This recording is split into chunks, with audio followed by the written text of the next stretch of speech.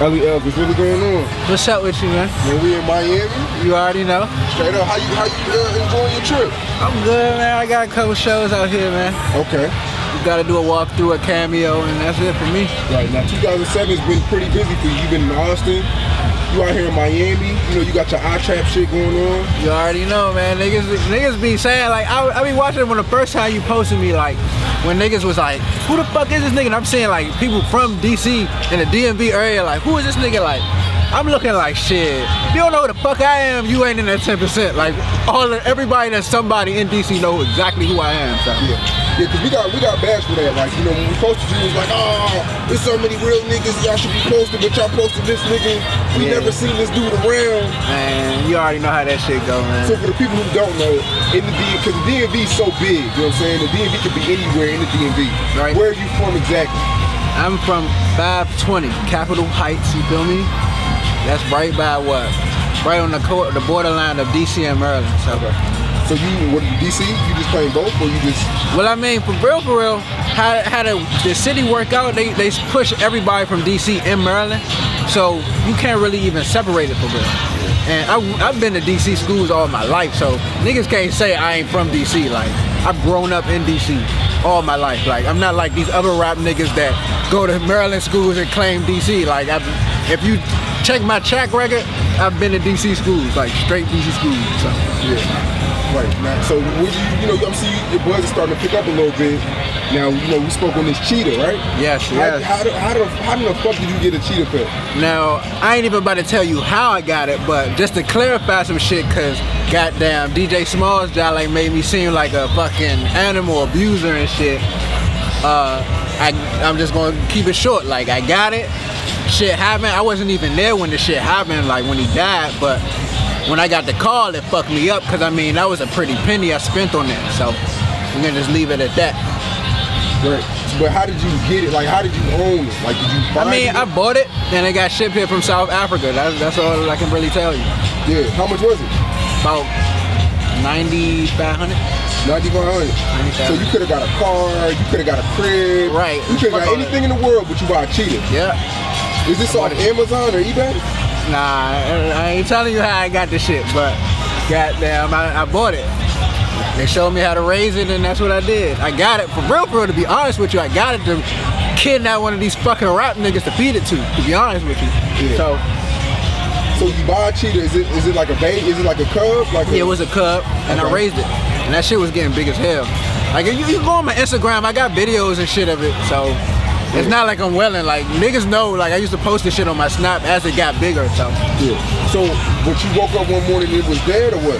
Nah, uh, I got a phone call when I was out that it, it had hung itself. And basically, in the process of it hanging itself, he, uh, I guess he was chasing something on the back porch and he was on a leash on the back porch and he jumped off. So it wasn't like he was purposely trying to kill himself, but that's just what happened. So. Yeah. So the cheetah died. Is, and, and how did people find? Did you have the cheetah in your music videos? Like how did people find out about it? See, I was just getting getting it to the point Marketing to get point, there, yeah. but I was like put, putting little videos and shit out, and um, I was putting it all over my snap. So people always message me and shit like, "Bro, why the fuck do you got a cheetah?" Cause like, you know, I just like, man, I just got it, and it was just a conversation starter for real. Yeah. So, So how expensive is? You know, I, I know they eat a lot. Like, how long did you have it for?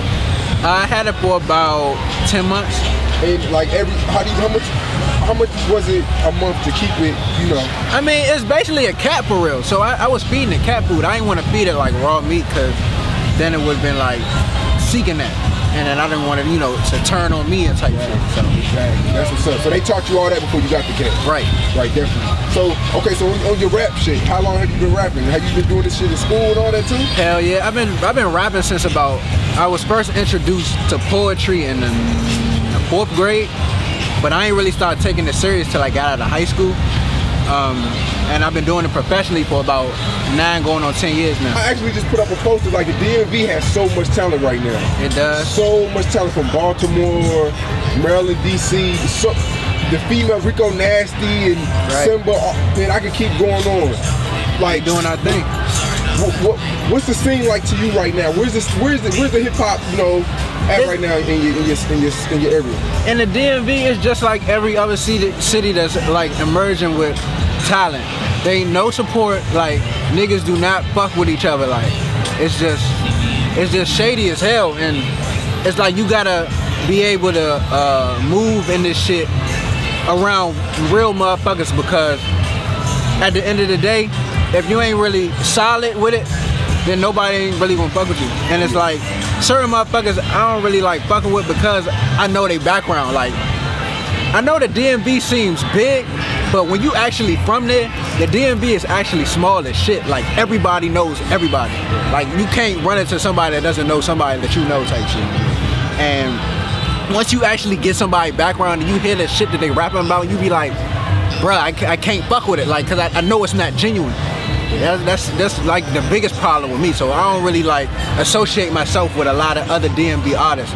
But if I see you working and I see like you really putting the effort out to put some cranking ass music out, yeah. and I'm always seeing motherfuckers talking about you, little kids and shit, playing your shit. Like I hear your song when, they, when people driving by and shit that I know. Like, all right, then I need to fuck with this nigga. That's that's how I basically do it. Right now, when I when I post a let's say I post a DC artist and he's from Maryland or he's from, it's kind of like y'all are real in particular about where somebody's from. Like, oh, he's not from DC, he's from Maryland. Like, do, do, do, is it like beef between the cities or is it just like, like how how is it?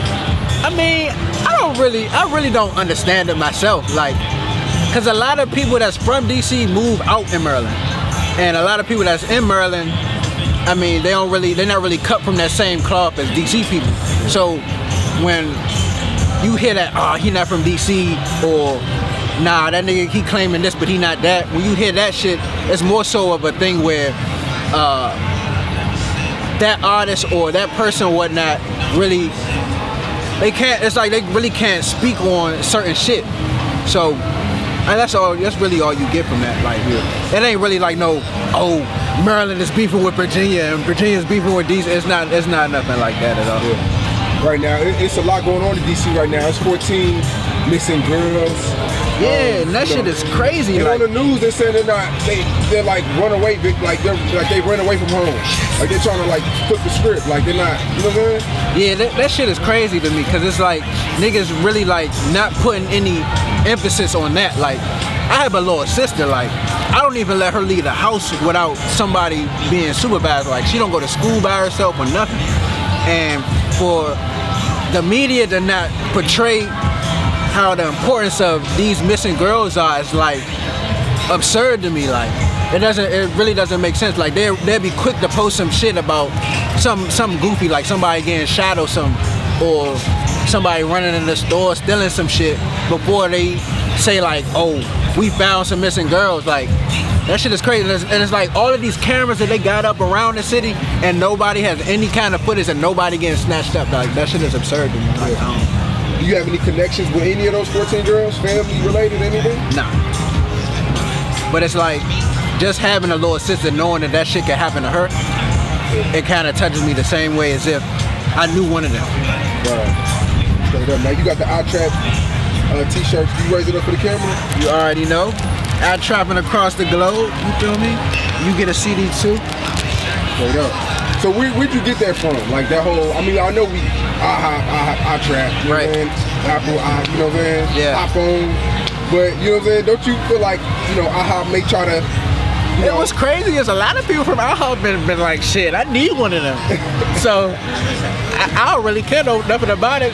As soon as some niggas cut me a check, I mean, that's what that's what that's what we try to do with it. Yeah. Shout out to my nigga Danny, Danny Bands, you feel me? Shout out to my nigga Drew Finesse, uh, Jordan Harris, El Papicito. I see y'all niggas, man. Me and Euro Skrilla about to take over the whole 2017. I'm telling you, yeah. we like we got some big moves, big shit in store. Um, and yeah, if you need a shirt, hit the Sick Music Group page. We definitely getting them to everybody. Like the city's going crazy with it right now. Like you already seen goddamn Dex in the shit. Goddamn uh Sauce Walker. Uh, we had a whole bunch of other artists in them too, so yeah. Uh, a lot of people supporting them. Straight up. So, you know, what, what makes you so different? Like what, you know, it's a lot of rappers in this world. It's a lot of talent in the DMV area, but what makes you different?